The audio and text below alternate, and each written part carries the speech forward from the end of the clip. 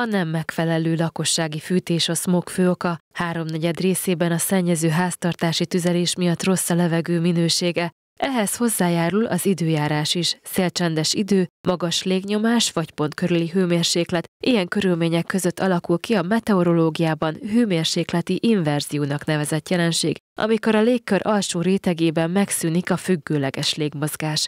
Az eredménye a köd és a kémény felett rekedő felszállni nem képes füst. A szennyezett levegő széles skálán okoz egészségügyi problémákat, amelynek súlyossága a kisebb légzőszervi károktól a korai halálozásig terjed. Nyíregyházán jelenleg közel 45%-on áll az összesített smogindex.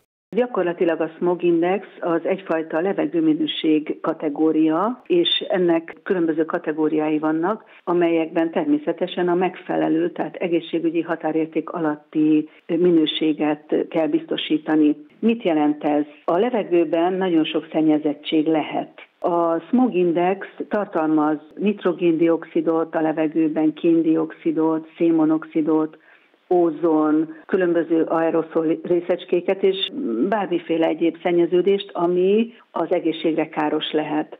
Kiemelném, hogy Nyíregyházán működik egy online mérőállomás, és annak adatai alapján az egészségügyi határérték alatt vannak az eredményeink, ezt mindig folyamatosan figyeljük. Ugyanakkor reggeli, esti órákban természetesen akár a forgalom megnövekedésével ez egy-két órára a határérték felé mehet, de ez még mindig az a határérték, ami az egészségügyi határérték alatt van.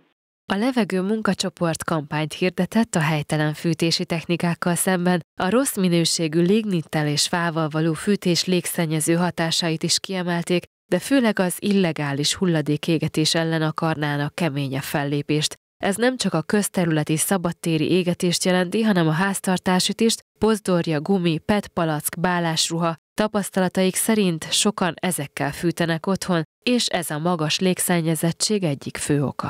A hulladék égetés, az avarégetés, a szilárd tüzelésen belül, ahogy említettem, a műanyagok és a gumihulladékoknak az égetése nagyon káros. Sokáig megmarad a levegőben, és belélegezve károsodást okozhat a szervezetben. Ennek a lecsökkentése, valamint azáltal lehet segíteni, azáltal védhetjük magunkat, hogy úgy mondjam, hogy amikor csúcsforgalom van, akkor lehetőleg ne szellőztessünk, minél hamarabb érjünk haza és ne sétáljunk abban az időszakban, amikor látjuk, hogy hosszú kocsisorok sorakoznak. Ha nagyon szmogos a levegő, tartsuk nyitva a nyílászárókat, csak ritkán és rövid ideig szellőztessünk. Érdemes sokkal több folyadékot inni, és a sportolási tevékenységet inkább a közutaktól távolabb zöldövezetben végezni. A köd a következő napokban felszáll Nyíregyháza térsége fölött. Így lassan, de kitisztul a levegő.